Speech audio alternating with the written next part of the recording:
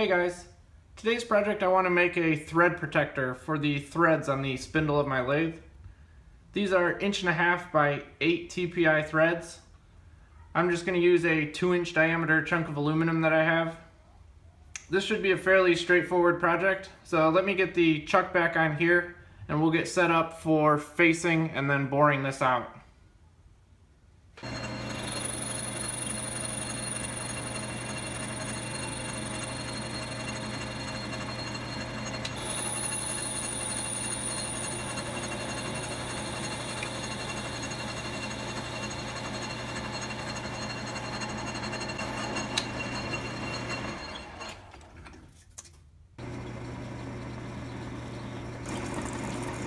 This is a quarter inch pilot drill.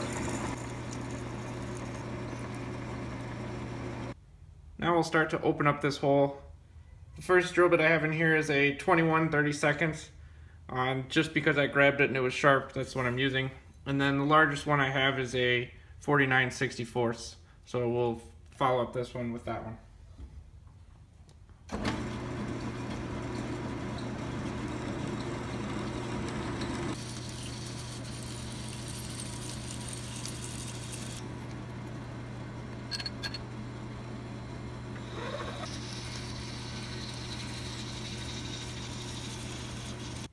I've got a boring bar set up with a piece of high-speed steel in it.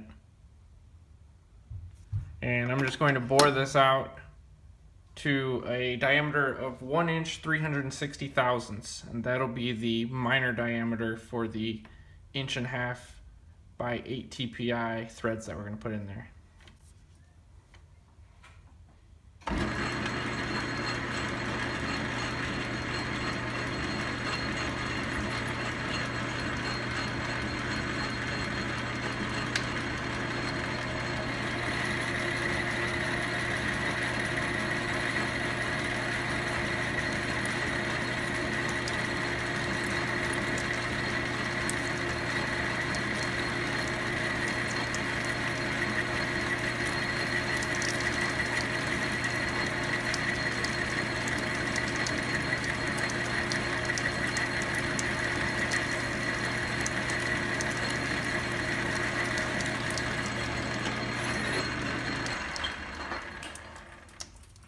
The reason I've got this so far out, probably a quarter inch away from the back of the chuck, is so that I can see as I approach it and make sure to disengage the feed and not run into the chuck inside there. So let me rough this down off camera and then we'll come back for the last uh, couple passes.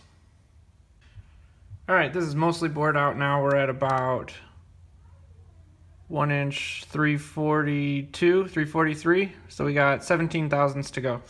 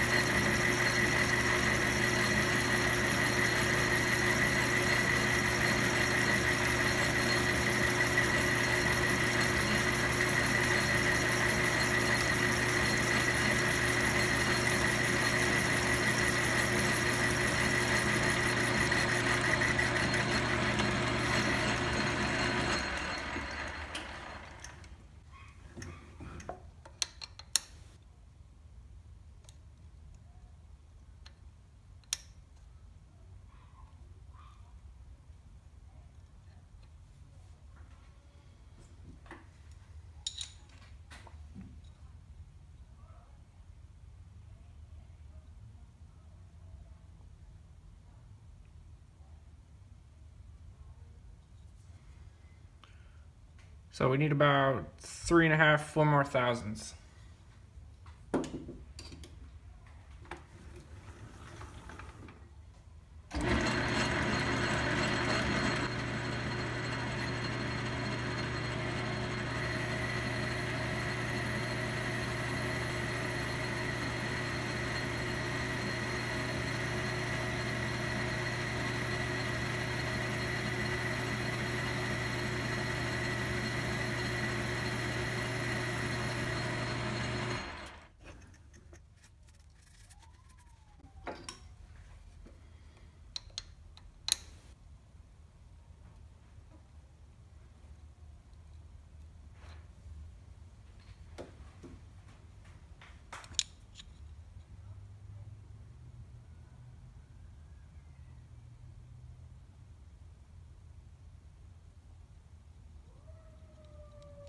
I'm happy with that. 1 inch 360. Next I'm just going to use a high-speed steel tool and we're going to bring this diameter out to inch and a half, probably a couple thousandths over, five, 1 inch 502 or something like that, for about 3 eighths of an inch deep down into here. And that's because on the spindle, the threads don't go all the way up to the back of it. So that'll allow clearance when we take this off. We're going to flip it around to thread it on there, and that's what that register will be for.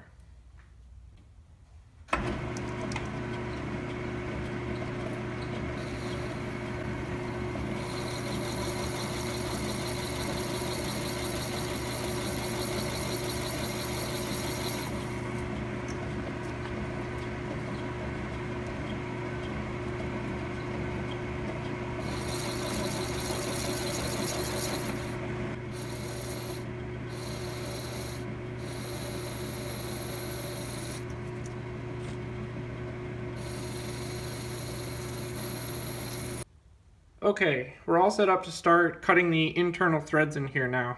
I've got a piece of high-speed steel ground in a boring bar and I used my fishtail and squared it up to the chuck. That's ready to go. The quick change gearbox is in 8 TPI and I slowed the lathe down a little bit so that it wouldn't feed so quickly. I've got the compound set to 29 and a half degrees in this direction and the dial is zeroed out. So I'm just gonna go in and touch off and then I'll zero the cross slide dial and do a scratch pass.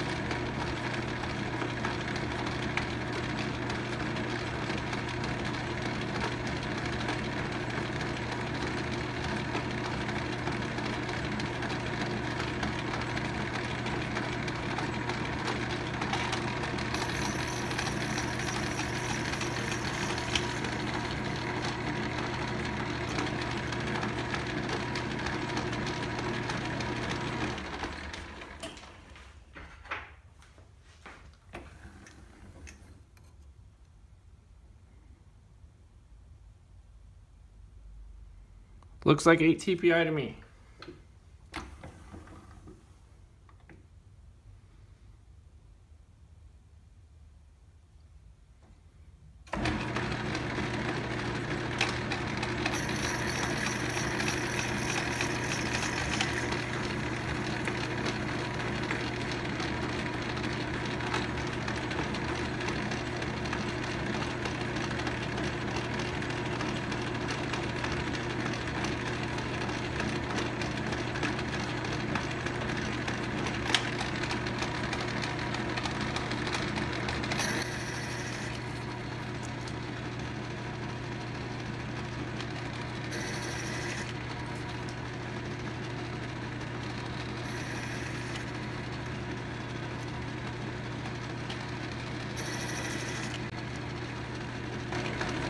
I'm gonna keep cutting this off camera and then I'll bring you back when it's almost done.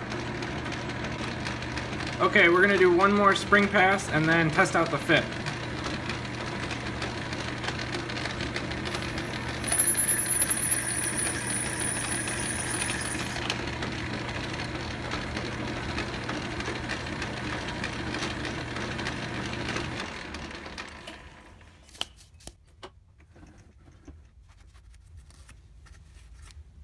I don't know if you can see, we just barely scratched the surface right here of our register.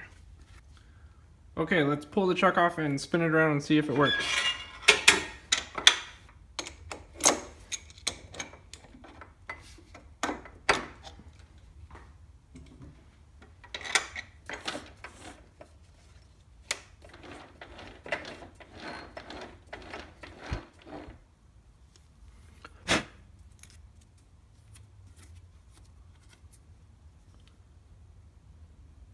So we just barely touched off on our register there.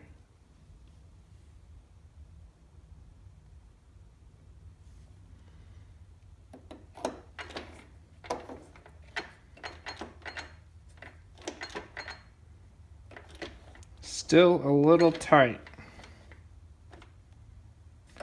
So we'll pick them back up and take just a little bit more off. So we're just going to take a few more thousands out of here and then we'll test it out again.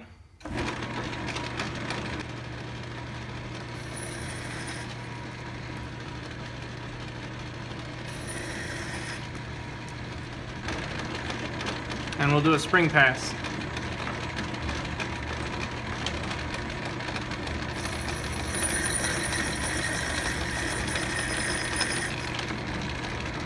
Try this one more time. Hopefully one more time.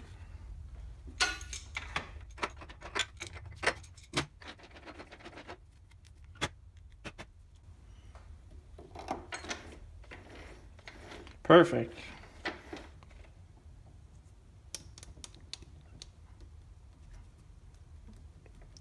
They're really snug.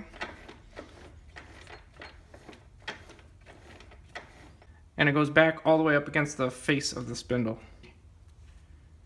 So I'm going to put the chuck back on and then we're going to chamfer these edges and then we can pull it out of here.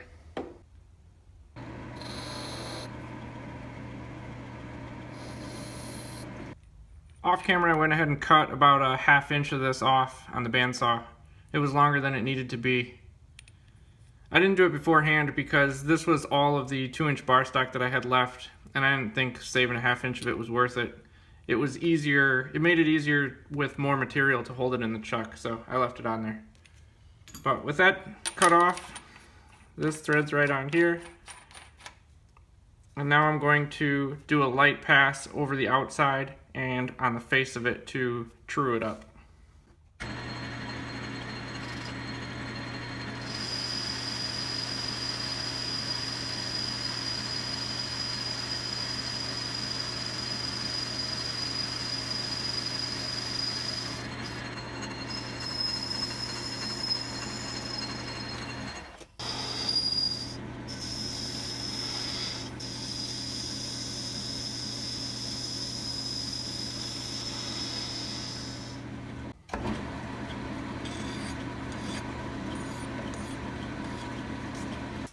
Think the last thing I'm going to do is drill a hole in it, just like a quarter inch hole, so that I can stick a bar in there to pop it off easier when I want to take it off. Other than that, it's all done. Here's the finished piece.